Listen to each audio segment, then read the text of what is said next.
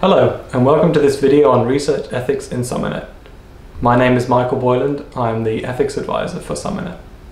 In this video we'll be talking about what research ethics is, why it's important, and how SUMERNET will be approaching it. We'll introduce the ethics principles for SummerNet and talk through different roles and responsibilities.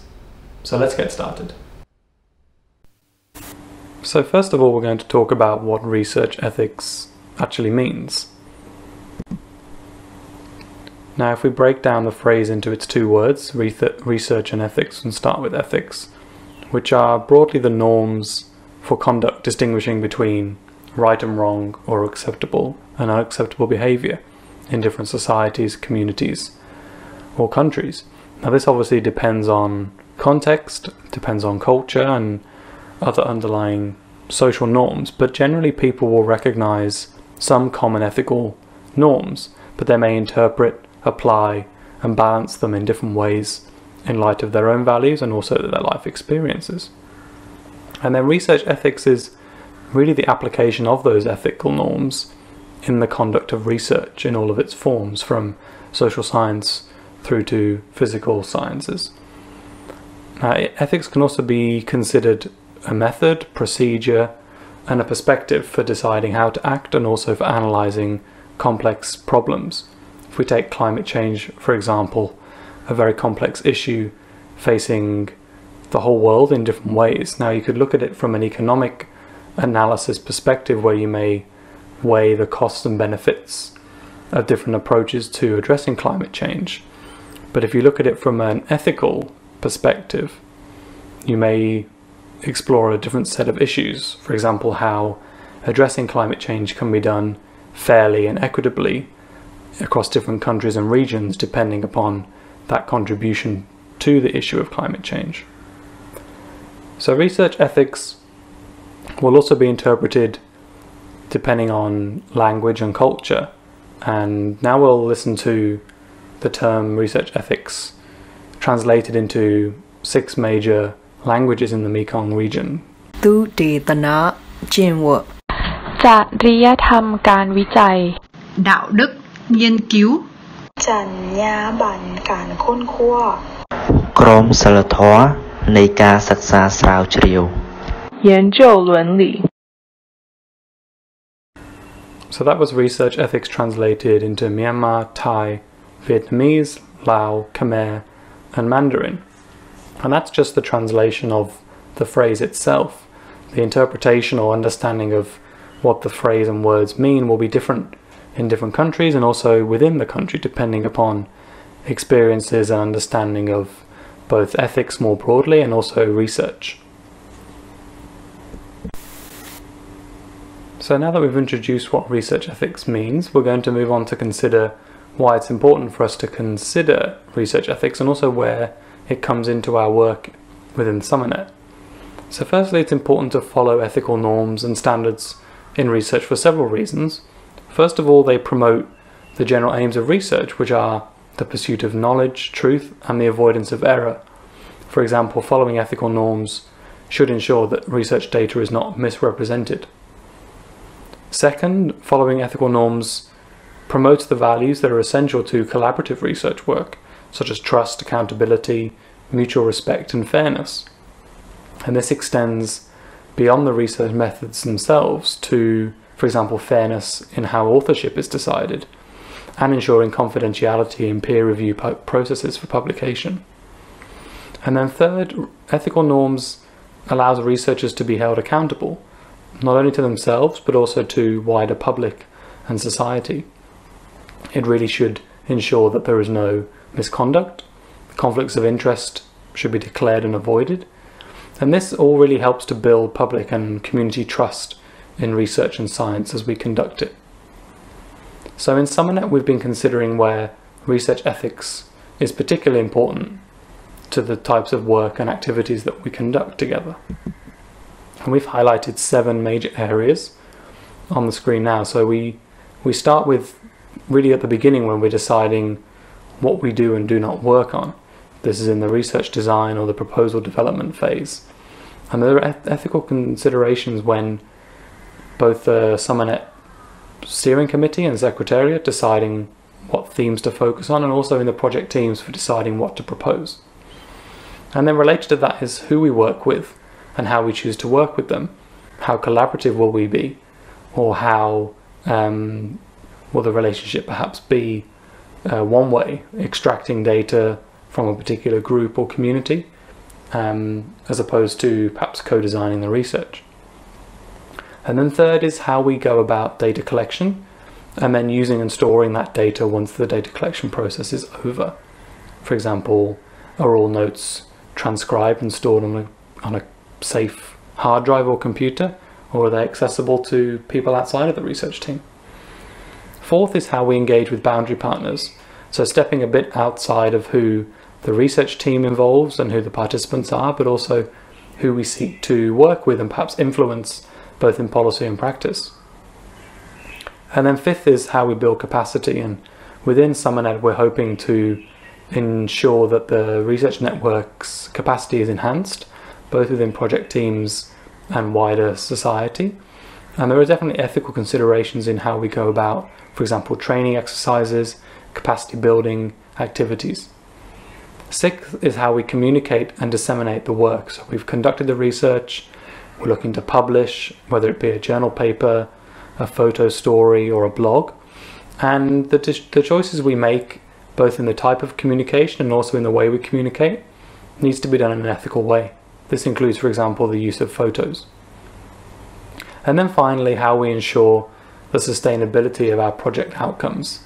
So after the timeline of the project is over, after the activities are done, what measures have we put in place to ensure that the outcomes sustain and persist beyond our time there? And how is it ensured to be done in an ethical way? So now we've introduced what ethics in research means, why it's important to the work we do, and where it's relevant to SUMERNET. And now we're going to talk about the specific approach to ethics that SUMERNET is taking. There are two main parts to this approach. The first is the upholding of principles across all activities, project partners, and teams. And second is the following of prescribed processes. In this video, we'll be focusing on the first of those, the principles that we seek to uphold in partnership with all of you. And we'll be going through what each might mean to the different activities and how they can be upheld in the context of your projects. SUMERNET has six ethics principles integrity, respect, responsibility, competence, social equity, and ethical balance. Now, each of these may be understood and applied in different ways.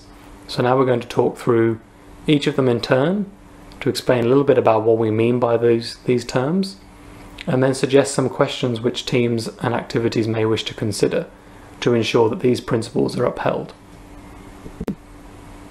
The first principle is that of integrity. This is about striving to achieve consistency in our intentions and our actions in all of the contexts in which we work. We should be ensuring we follow high standards of honesty and show commitment to the values of justice and fairness. This should be reflected across not just the participants and the informants, but the project teams and the boundary partners that we seek to engage. Now, there are many questions which the teams may consider internally to ensure that this principle is upheld, but here are a couple of examples. How exactly will we show integrity in each and every activity that we have planned, both within research, engagement, communications, for example? How will we know that the people we work with or gather data from sense that we are showing integrity and then how exactly will our research be contributing to society, to an individual community, or perhaps to a country? And are we prepared to report and communicate our findings accurately and openly?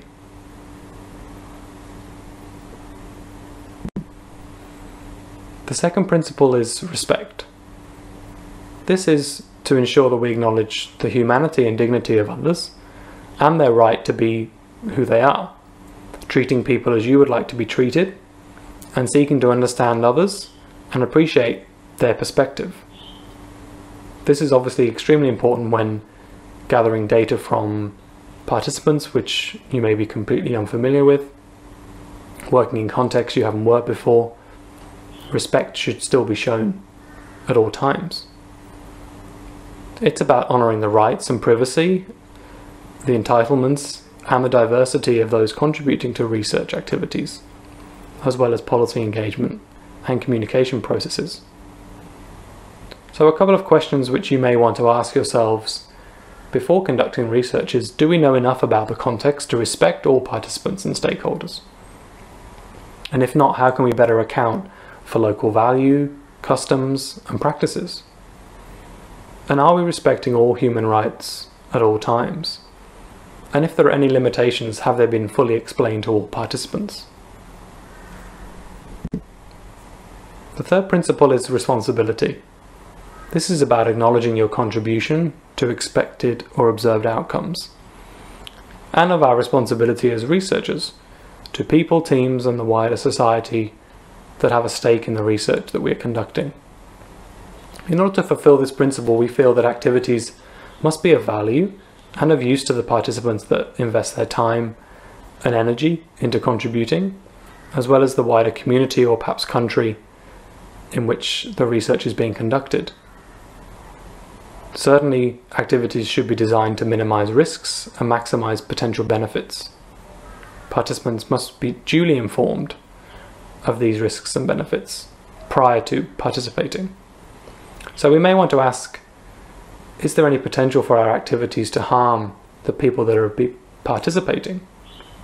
And if yes, what steps should be taken to ensure no harm? An example of this would be to make sure that informed consent is sought and documented for all participants, regardless of how small or large their contribution may seem to be. And second, we may want to ask ourselves is there a potential for our research findings to jeopardize either the project team, the participants, or a wider set of stakeholders? And if that's potentially true, what steps can we take to protect those groups? An important first step in this is to make sure all data gathered and presented is anonymous. The fourth principle is competence. This is to ensure that we're honest about what we're capable of and we commit to producing high quality work within the boundary of our expertise, but also striving for personal improvement. We want to consider a couple of issues here. Do the project teams have the skills to conduct the activities and deliver high quality outputs? And if not, what additional capacities might be needed? And where could those capacities be found? And this is where the SUMERNET Steering Committee and Secretariat is available to offer support to project teams who may be facing an ethical dilemma of competence.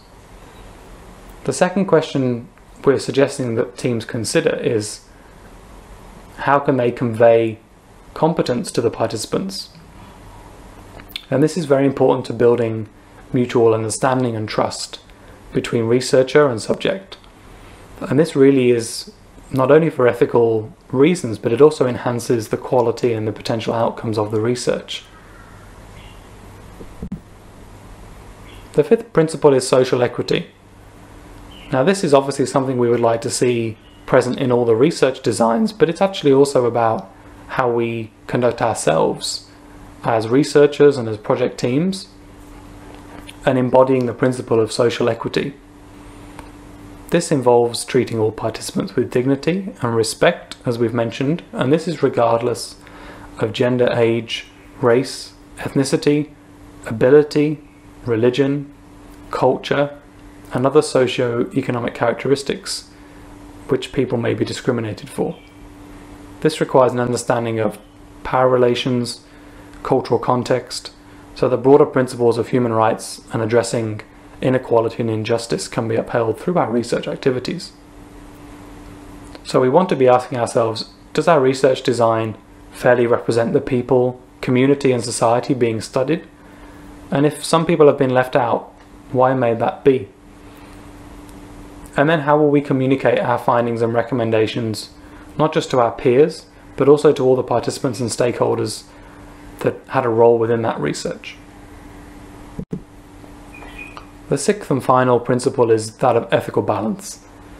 So we remain committed to these principles, but we also want to make sure that we acknowledge and respect potentially different perspectives within the context or the communities where we're conducting research. So we want to be asking how do our own ethical principles compare with those around us? And if they don't, how do we strike a balance to ensure that both parties are respected? And the second question is how we will carry these SUMERNET ethic principles forward in our work, in our research activities, in our policy engagement, in ways that are very mindful of the different views and values that we will come across in our work across the region. So, again, to summarize, SUMERNET has six ethics principles integrity, respect, responsibility, competence, social equity, and ethical balance. So now that we've introduced these ethics principles for SUMERNET, we speak a little bit about the roles and responsibilities that different people and different institutions have. So the project leaders are responsible for the project, of course, and its team to ensure that these principles are implemented and upheld to the highest possible standard in all activities. The SUMERNET Steering Committee has a responsibility to provide clear guidance, knowledge and training to support project leaders and their teams to deliver that high ethical research. The SUMERNET Secretariat will be supporting the steering committee in providing that guidance. The Secretariat will also be reviewing and approving different projects and proposals to give ethical clearance in accordance with the decision made by the SUMERNET Steering Committee for the Secretariat to take on this role. But overall, we are all responsible for practicing and upholding good ethical practice in SUMERNET, whether we're inside or outside of the network. If we're conducting research in the region, it's important that we do so ethically. There are many resources available on the subject of research ethics. You can find details of some of these in the SUMERNET Ethics Guide available on the SUMERNET website.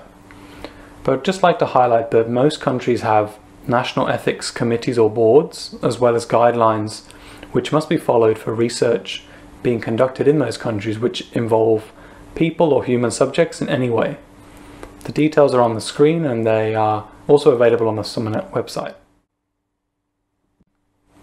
Thank you for watching and please do get in touch if you have any questions or issues you would like to discuss. You can reach me at michael.boyland at sei.org or post your comments in the comment section below this video. Thank you.